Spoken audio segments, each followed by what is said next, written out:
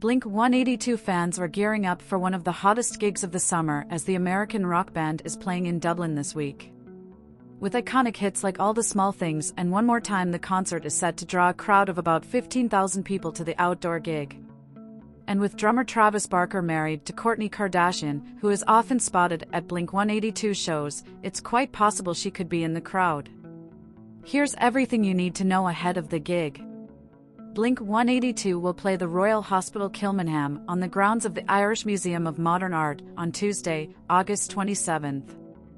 Fans will descend on the venue from 5 p.m. when gates open with support act The Story so far taking to the stage at 7:30 p.m.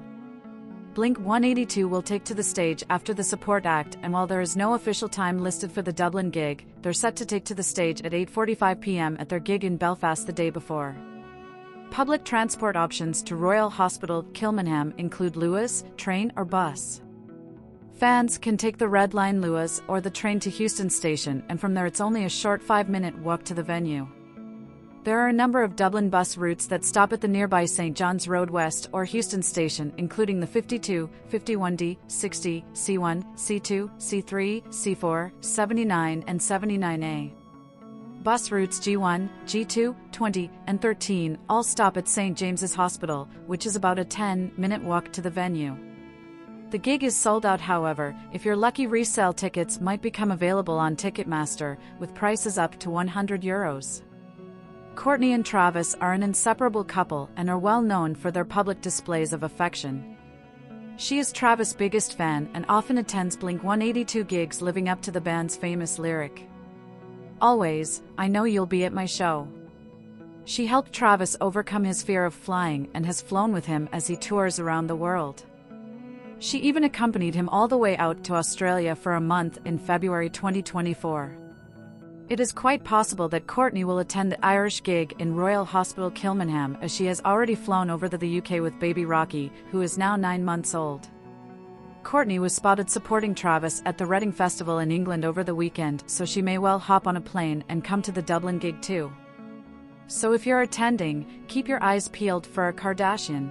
Kourtney Kardashian recently shared a glimpse of her unborn son's nursery, and it's not the luxurious $10,000 wooden crib that caught everyone's attention, but a seemingly disturbing detail lurking in the background for the U.S. Sun nestled in her opulent million Los Angeles mansion. Kardashian showcased the lavish gradient crib from Nursery Works, strategically positioned in front of expansive windows offering a view of the sprawling yard. However, what captured the imagination of eagle-eyed fans was not the crib itself, but a peculiar blue furry toy housed within its confines. This enigmatic doll, identified as Visti and crafted by the Japanese artist Verde, took center stage in the Instagram post. Yet, it was not Visti's vibrant blue fur that left fans unsettled, but rather the subtle yet eerie appearance of the name Rocky on a branch of what appeared to be a wishing tree adorning the crib. User I'm underscore saved underscore by underscore grace said, I'm sure she will put liners around it so baby doesn't get stuck. While another user Vintage War raised concern by saying, hazard, to which another user replied saying, how? She's obviously going to take the toy out. Kardashian, currently pregnant at the age of 44, has been recuperating at home after a recent episode that necessitated a very urgent fetal surgery.